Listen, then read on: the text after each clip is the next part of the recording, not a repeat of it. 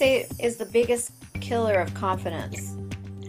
Um, from all the research that, that we have done, I have found that the biggest killer of confidence is the word expectation. Mm. The word expectation, uh, here's why it's, it's black or white. And the problem is with an expectation, you either succeed or you fail. And as human beings, we're going to fail. so what happens is we end up setting ourselves up to fail because of a specific expectation that doesn't get met. And I actually just had a conversation with somebody today about this. Uh, she was struggling with feeling disappointed. Disappointment comes from expectation. Right. Have expectations, we don't meet them, we're disappointed. Now we see ourselves as failures. And it's funny when I talk to young athletes, I ask them, you know, is failure good or bad? And I always get some say good, some say bad. And then they get to the point where they'll answer, okay, maybe it's both. And I always say, how about it's neither? How about it's neither? How about failure is just a thing? We, as human beings, attach the emotion to it. So if we can take failure and look at it as just a thing, then the expectations change. I've had I've had uh, many coaches say, "Yeah, but you know, you have to have high expectations." The problem is, I- I'm not saying lower the bar. In fact, I'm saying get rid of the bar Good.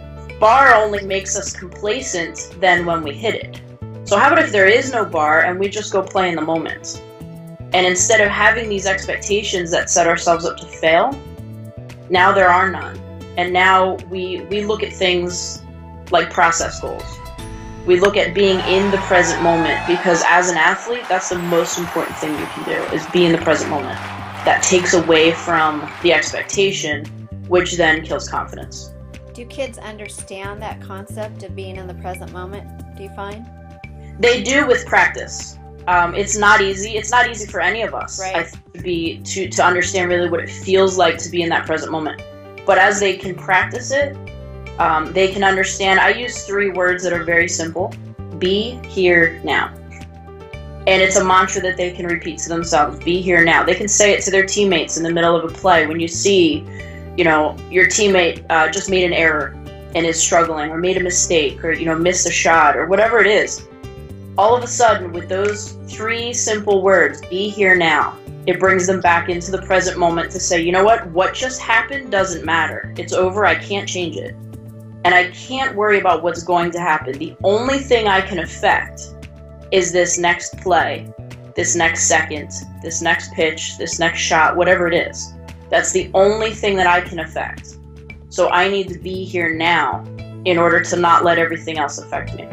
Go to sportsmentaltoughness.com to get your free video training and guided visualization MP3 on how to perform under pressure. I'm Craig Sigl, the Mental Toughness Trainer.